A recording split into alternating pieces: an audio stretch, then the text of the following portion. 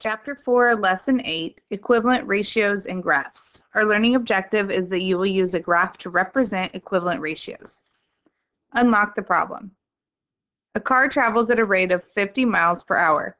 Use equivalent ratios to graph the distance the car travels over time. Graph time on the x-axis and distance on the y-axis. What words in the problem tell the unit rate? The unit rate is told right here when it says 50 miles per hour. So it's telling it's a unit rate because it's comparing it to one hour. So we're going to look at this problem.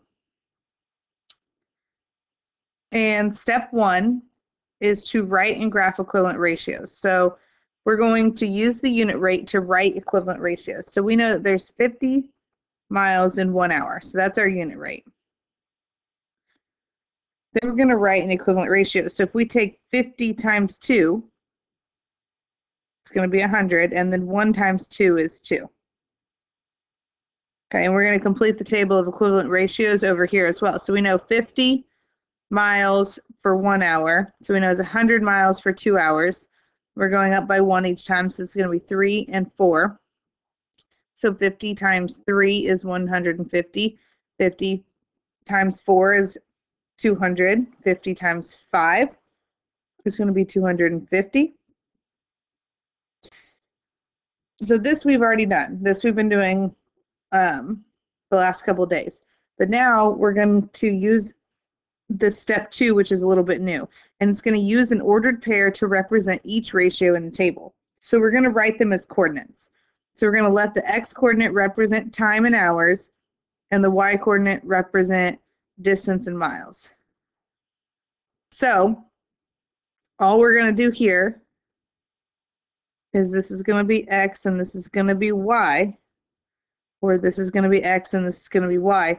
So we're just going to write these now as ordered pairs. We're going to take them from the table and put them in x, y. So here, for the unit rate, x is 1, y is 50. 2, x is 2, y is 100. x is 3, y is 150. x is 4, y is 200. x is 5, y is 250. So you're just rewriting the numbers that you've already computed as ordered pairs. Write in 50. Okay, so remember the first number in an ordered pair is the x coordinate, the second number is the y coordinate. Okay, now we're going to look down here at step three. Step three says to use the ordered pairs to graph the car's distance over time. So you got to think the graph represents the same relationships as the unit rate. So for every one hour the car travels, the distance should increase by 50 if we're doing it correct. So 1 is 50. We're going to go right 2 up 100, right 3 up 150, right 4 up 200, right 5 up 250. So if this continues to increase, increase at the same rate, then 6 would be 300, 7 350, 8 400. So that would be what that graph looks like.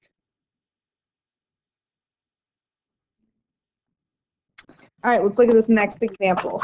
It says during a heavy rainstorm, the waters of the Blue River rose at a steady rate for eight hours. The graph shows the river's increase in height over time. Use the graph to complete the table of equivalent ratios. How many inches did the river rise in eight hours? Okay, so we're going to think. On the graph, the x-coordinate represents time in what? Well, we see up here hours, so that must mean that it represents time in hours. And the y coordinates represent the river's increase in height in inches.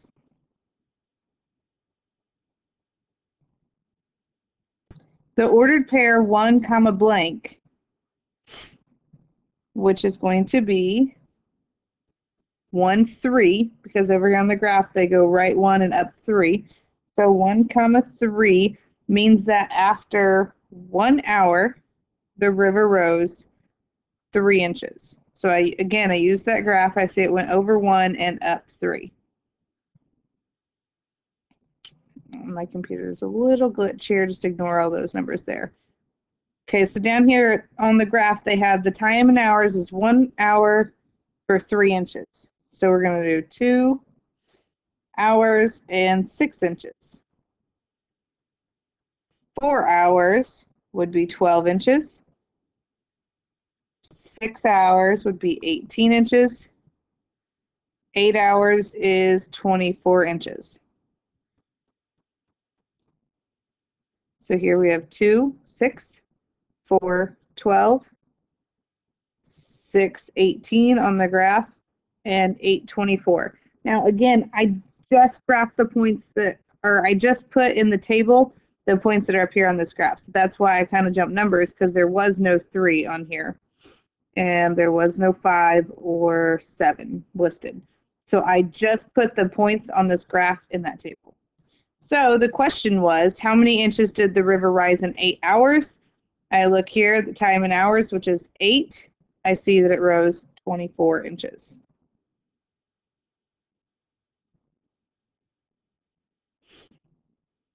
Describe the pattern you see in the graph and the table.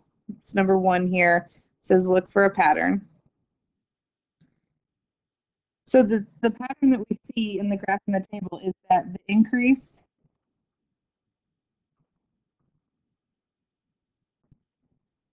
in the river's height.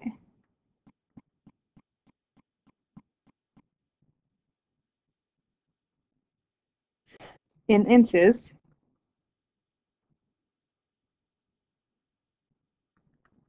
Is three times the number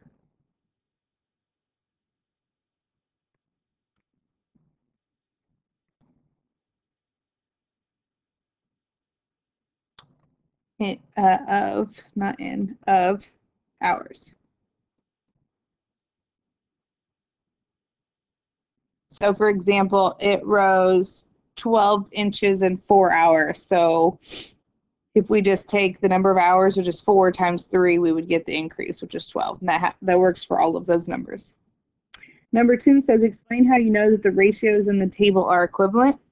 So you can write each ratio in the table as the unit rate.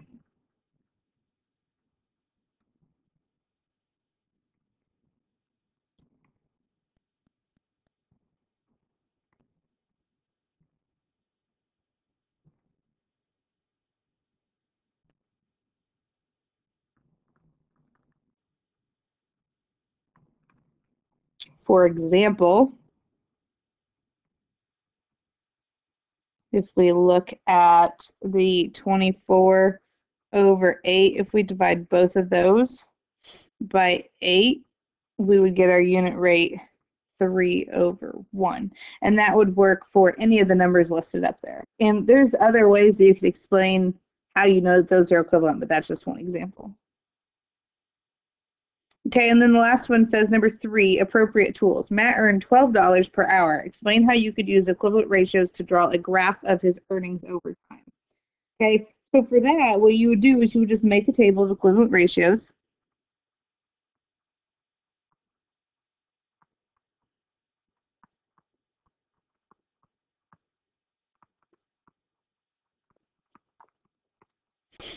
And then you would use the table to write the ordered pair with the X and Y representing time in hours and earnings in dollars.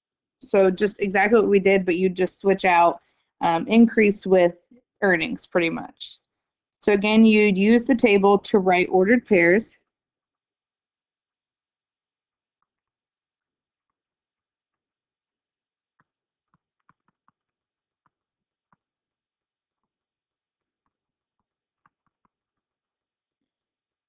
With the x coordinate.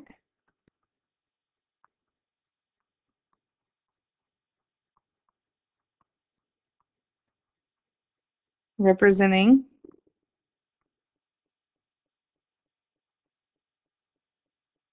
time in hours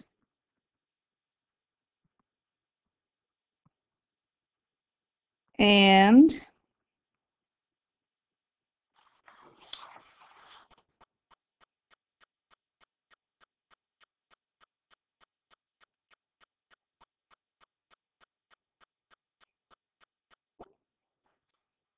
about that, my pen glitched.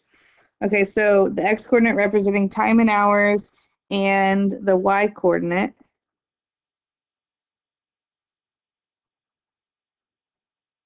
Representing earnings in dollars. Then, lastly, you graph the ordered pairs.